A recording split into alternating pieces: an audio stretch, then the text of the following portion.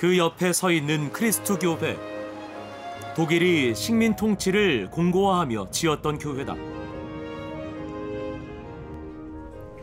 독일의 통치 시절 인종 학살도 있었지만 이후 남아공의 지배 또한 가혹했기에 나미비아인들의 독일에 대한 시선은 조금 복잡하다.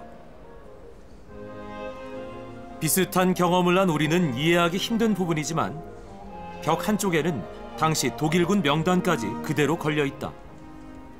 and the German speaking community living in Namibia is minor than 1% of the entire uh, country population. As we also seen, an important of this, the minority, there is no influential fact that one of the day the Germans will come and top on, on top of the government.